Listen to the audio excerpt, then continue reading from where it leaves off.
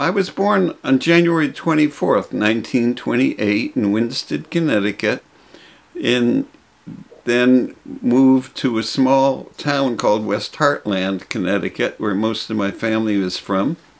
And uh, I went to a one-room schoolhouse with with 14 students for six or eight grades, whatever it took. And then when I graduated from the one-room school, I went to a high school with 100 students.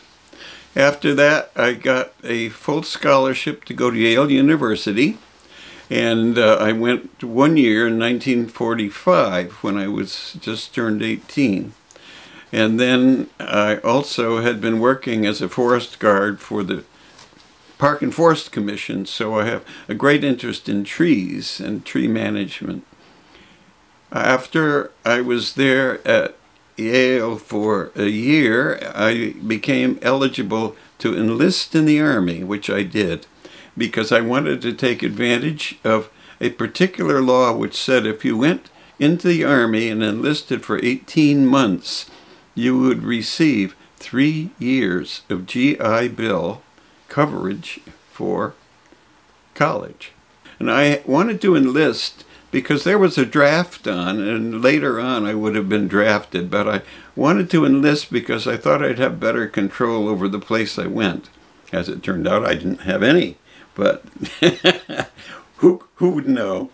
So anyway, uh, I went with a bunch of other people and we all got on the train and we said goodbye to the family and then we went down on the train to uh, Fort Dix in New Jersey.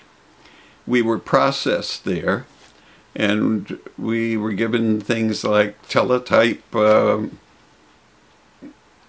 exercises or uh, I my mother had insisted that when I was in high school, I take typing. I said, I'll be there with 39 girls learning typing with Miss Buzzy. She says, yes, you'll find it's very valuable. And indeed, she was very right. Because when they learned I could type, they said, oh, good, well, you can be a company clerk or you could do all kinds of things. So then they sent me to the tank section to learn about tanks. And that was, oh, three or four months in Kentucky, very hot. But it had interesting things like that. So we were marching and everybody would go, oh, come up exhausted. And we'd sit down with our backs to the barracks. And the sergeant would say, well, you do know, fellas, that that's where the Black Widow spiders live. wow, did we ever move fast? so after I had a week or so of rest at home, and then I got on a train and went out to Camp Stoneman in California when we were put on the uh, the ship and sailed, as I said, for 21 days. 1,200 of us, and we were all seasick. I was very seasick along with everybody else. So the place was pretty messy. But after about a week, I got so I could eat an apple or something. But anyway, we made it to Yokohama, and they had not apparently been told that 1,200 soldiers were on their way to Yokohama. So they said, oh, really? Nobody told us. So we got there and they said, well, we don't have any food except we could give you peanut butter and jelly sandwiches. Well, we gratefully accepted that. Then we stayed there for just a day or so until we were sorted out.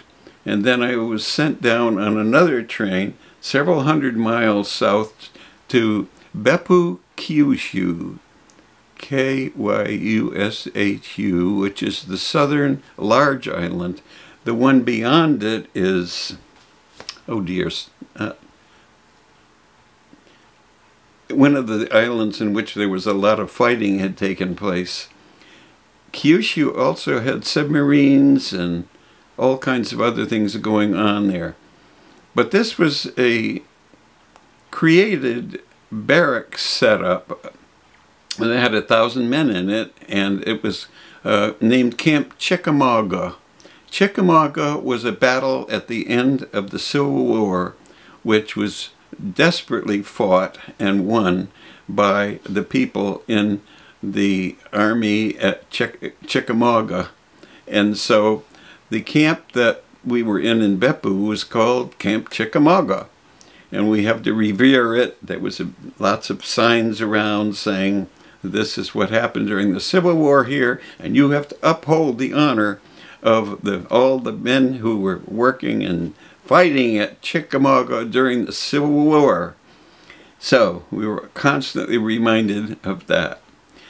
So the first thing you do when you get there is uh, you find out where the dining hall is and uh, this sort of thing. And then you're given all kinds of opportunities to tell what you know about Army life. Lectures, it was high school, college, as a, a, lot of information about how to behave in the Army, what will happen if you don't, and so on. And uh, this was okay. And we started doing a lot of marching we marched up and down and we marched out into the bamboo forests and marched back again. Sun was pretty hot there. And uh, a couple in a, in a couple of months, I came down with a sinus attack because of the kind of wet weather that was there. And they gave me sulfanilamide pills. 28, I had to take every day 28 sulfanilamide pills plus 12 charcoal pills that uh, overcame the bad effects of the sulfanilamide. I didn't get better. Then the medic said, hey, we got a new medicine that's come in from the States, never tried it before, called penicillin. Bend over. so I got three shots in my butt. And miraculously, I was cured. But having been in bed for a couple of weeks, I could hardly walk. They gave me my rifle. It was so heavy I couldn't I couldn't lift it. So I went out of the hospital, discharged, carrying my rifle, and I went over to the woods and I waited and waited until I saw my troop marching back to come home in at night after marching. So I joined them in the end. So I got better after that, but it was quite an experience. Then we had all kinds of things happening. We went all over Beppu. We marched. We found out how to fight in jungle areas and all kinds of things of this sort. Then, as I said, I became uh, interested in driving a truck. So I went to truck driving school and uh, I'd always driven trucks and so on because I had two uncles who were farmers. And from the time you were six or seven, you could drive the old international trucks when they were haying because they only went in low, low, about two miles an hour. And so if you were a kid, you could steer it and then turn it around at the end and come back. So I knew more about trucks and helped to fix them than a lot of the other soldiers. So I went to truck driving school, and as I said, we had to go between telephone poles that were not very spacious because they didn't have big trucks. Actually, in that time, it was interesting to see the modes of transportation they had in Japan. Their taxis were uh, was powered by uh, wood stoves on the back. The back was made into a wood stove and they heated water and provided steam and they had a little steam engine that would make the wheels go around slowly. And that was the way they tr had transport. They didn't have gasoline or anything like that. That had all gone for the war effort. But anyway, the Japanese were very hard up They had very little food. So one of the things we were told, you can't go into restaurants, you can't have Japanese food because they don't have any. Just watch out for not taking the food because you got plenty at the chow of chow at our my dining hall. So we always respected that until much later when things were better. Then we actually uh, had some Japanese food. In the meantime, we were learning the Japanese language as rapidly as possible, particularly some of us who had to work with Japanese prisoners of war. Arigato. Thank you. Uh, hayaku! Hurry up! Doitashimashite. Don't worry about it. so you picked up the language uh, pretty quickly. And also I learned the Japanese songs to sing with my guitar. That was, it was not bad. And I went in the, I was every Sunday, I was in the choir. We had a professional uh, chorus leader. And we learned a lot of different kinds of singing and also music, which was very good for all of us because when the time came when Colonel Yancey was said, can you provide us with some groups of people who can sing in, um, in music, do music? He said, yes, we've got a Cracker Jack chapel choir and they can go on temporary duty for three months and uh, take in the show, the Sad Sack show, and they'll come in from every so often and have a uh, a chorus with, and we're all dressed in white shirts and not in army clothes, but in civvy clothes. And then we had that, uh, we were lined up and we would sing, Dream when the night is through. Well, anyway, uh, stateside songs and so on. We went on TDY, the temporary duty, for three months and went to, as I said, all of the different installations uh, British, Australian, French. I don't know. We didn't go in Russian.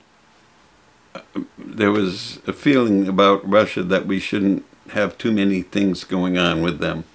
So, but anyway, we did all our installations, and in between, we visited lots of Japanese uh, ooh, castles and really beautiful places uh, to see. Also, um, we got to see a lot of the different types of cities in Japan. We watched parades go by and things like that. And after the three days uh, playing before for 3,000 people at the Ernie Pyle Theater, that was the big deal for us. Uh, then we went home. But in that time, as I mentioned before, my friend Bernie Kolosinski from Winsted, where I went to high school, and he did, he was in the press corps and he got tickets for us to see the war crimes trial.